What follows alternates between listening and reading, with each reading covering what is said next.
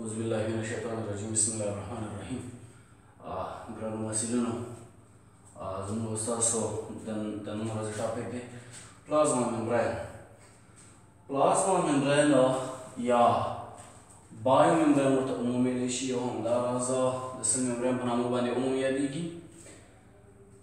آلسو کالډ د یونټ ممبرین بیس آن د سټرکچر لیکن کله نا کله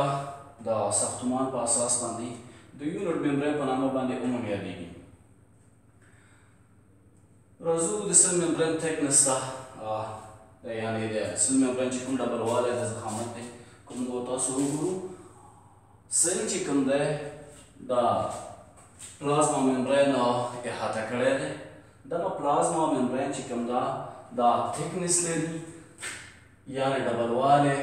چې موږ تاسو ورته پښتو کې زخامت وایو دغه زخامت دا مختلفو حجراتو د حجروي غشا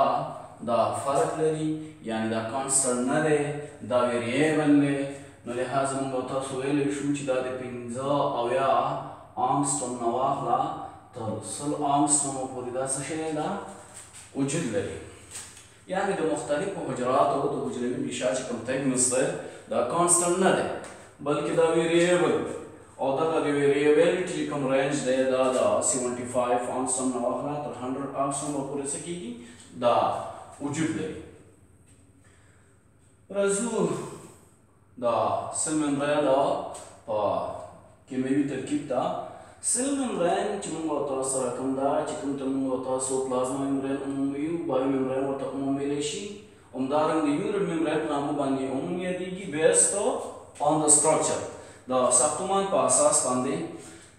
دغه سل ممبرینه اور پلازما ممبرینه دا میډ آف پروټینز او اینډ پاسپولپیډز دا د پروټینو او د پاسپولپیډ نه جوړه شوې ده راځو چې موږ تاسو یې د سټرکچر یا ساختمان سره پوډرا کوو مثال په تور دا موږ تاسو سره سل ممبرین ده دغه سل ممبرین که موږ او تاسو وګورو، دغه سل ممبرین دا د دوه طبقو د شحمیاتو څخه جوړه شوې ده، چې دغه شحمیات موږ او تاسو سره د پاسپولکړ مالیکیول په نامه باندې یادیږي. د همدې په لحاظ حجروي غیشا چې کوم ده یا سل ممبرین چې کوم ده یا پلازما ممبرین چې کوم ده دا لپډ بایلیر ورته وایي.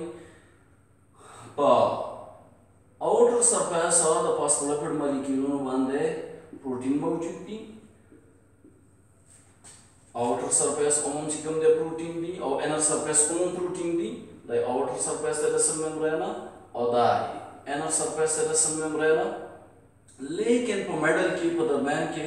مونږ او تاسو سره څه موجود دي د شهمياتو دوه طبقې موجود دي چې دغه طبقه د یا دغه طبقه د لپډ او بای لیر په نامه باندې یادېږي نو ځکه موږ او تاسو دلته وویل چې سل ممبرین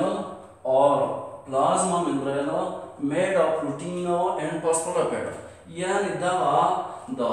پروتین او بل د سشنا د لپډ نه جوړه ده د لپډار چې کوم دوه طبقات دي دا د پروټینو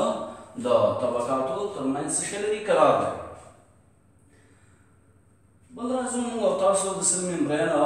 یو خاصیت دا هغه داسې چې سل ممبرین یا پلازما ممبرین په خپل ځان کې سیمي پرمیبیلیټي لري یعنی داسې موږ او تاسو ویلی شو چې پلازما ممبرین یا سل ممبرین چې کوم دی دا سیمي پرمیبیلیټي شو کوي دا سیمې پر مبیل کی چې دا شو کوي دا د مالیکیلو د سایز په اساس باندې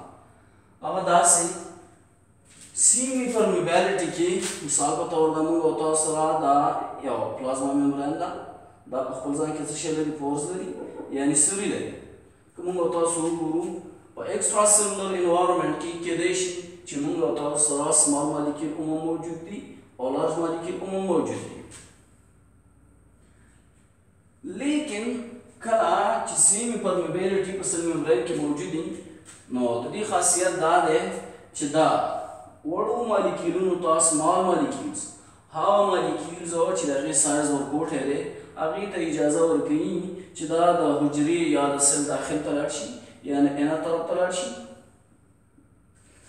لیکن لارج مالیکیول چې کوم دی چې د کوم سایز څه شی دی غټ دی لارج دی دا د دغه سرو څخه تېرېدلی نه شي نو په همدغه اساس او د سي او د سل ممبران او دغه خاصیت ته سیمي پرمیبیلیټي ویل شي اټ مینز او ټو آل سم مالیکیول ټو انټر زوال پرونډ سم اذر یعنی کوچنی مالیکیول ته اجازه ورکوي چې د حجرې داخل ته سرکل شي شي ان شي لیکن لارج مالیکیول ته چې کوم غټ مالیکیول دي ستر مالیکیول دي دې ته اجازه نه ورکوي چې دا د حجرې داخل ته شي شي دا انټر شي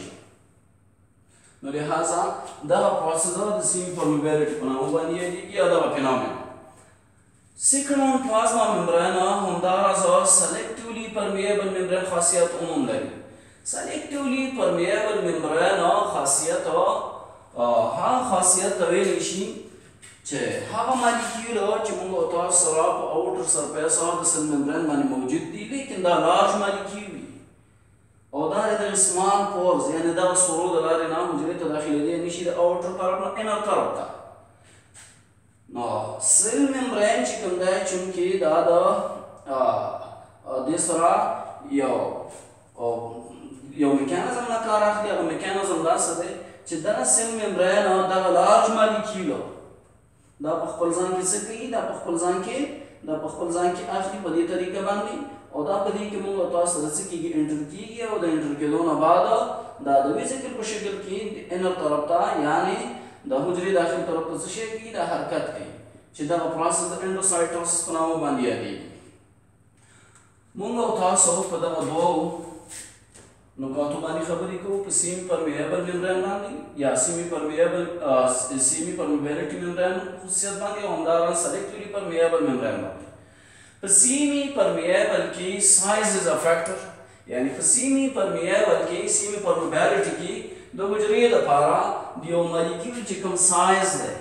دا یو فکټر دی یعنی هر هغه مالیکیول چې هغه سمال دي او هغه د دغه پورز د دغه سرور لارې حجرې ته داخلي دی شي نو د حجرې د خاصیت څه شی ویل شي سیمه پرمیبیلیټي همدارنګ سلیکټیولی پرمیبیلیټي چې کوم د ممبرین دا هغه دا داسې یو خصوصیت ده د حجرې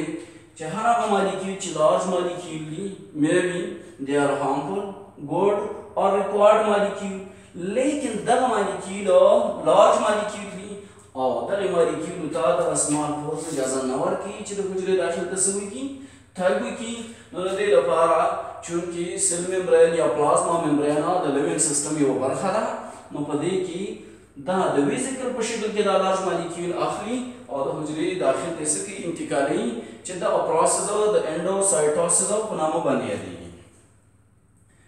راځو موږ تاسو د پلازما ممبرین پراپرټیز ته خصوصیاتو ته یعنی په کار دا چې یو سل ممبرین کم کم خاصیت ولري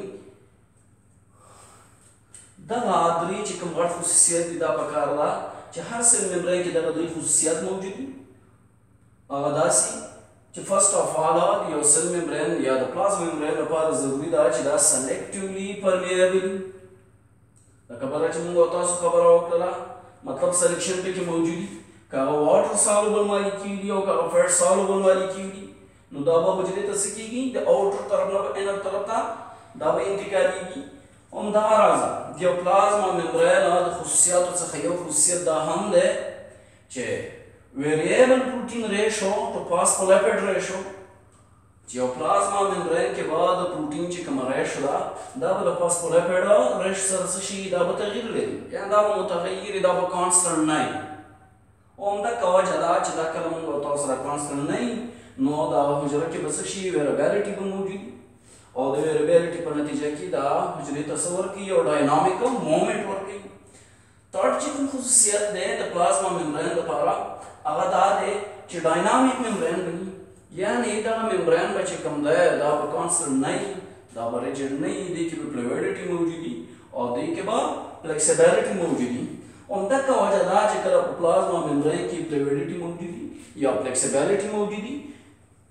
نو